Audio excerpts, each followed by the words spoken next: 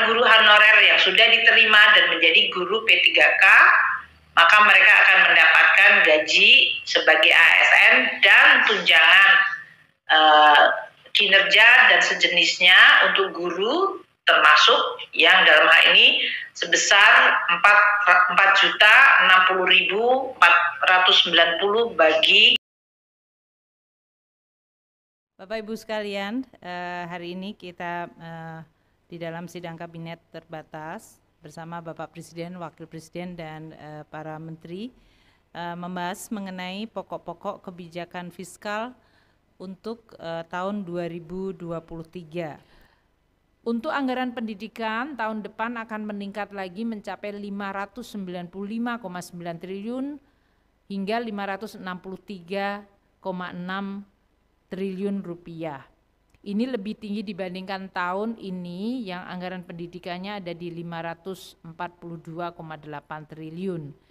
Ini akan mendukung berbagai belanja pendidikan termasuk beasiswa kepada murid-murid yaitu 20 juta siswa, kartu Indonesia Pintar kepada mahasiswa sebanyak 975 3 ribu mahasiswa mendapatkan beasiswa dan juga untuk membayar tunjangan profesi guru dan PNS untuk eh, yang merupakan profesi pendidik sebanyak 264 ribu orang.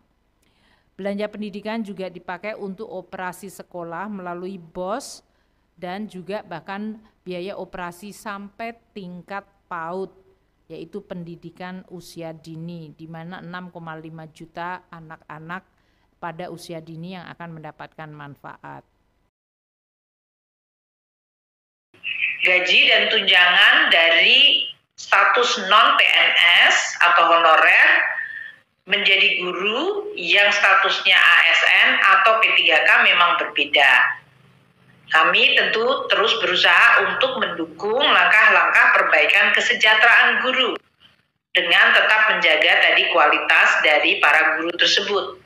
Jadi kami senang bahwa dalam hal ini akan dilakukan rekrutmen melalui ujian dan kita berharap juga para guru bisa mempersiapkan dan tadi seluruh anggaran untuk rekrutmen dibiayai oleh anggaran APBN kita telah dicadangkan 1,46 triliun untuk gaji ASN pusat maupun yang baru. Jadi ini artinya nanti kalau para guru honorer yang sudah diterima dan menjadi guru P3K, maka mereka akan mendapatkan gaji sebagai ASN dan tunjangan uh, kinerja dan sejenisnya untuk guru termasuk yang dalam hal ini sebesar 4 juta 60.490 bagi guru yang menikah dan memiliki dua anak dari sisi uh, total tunjangan kinerjanya.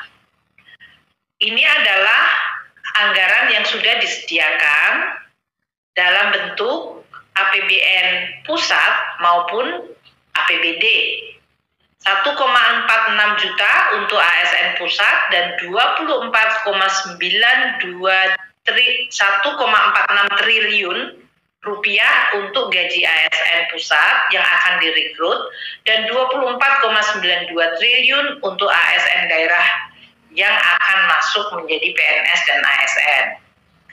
Kita mengetahui bahwa untuk pusat ini akan ada formasi 54.581 baik yang untuk CPNS 27.291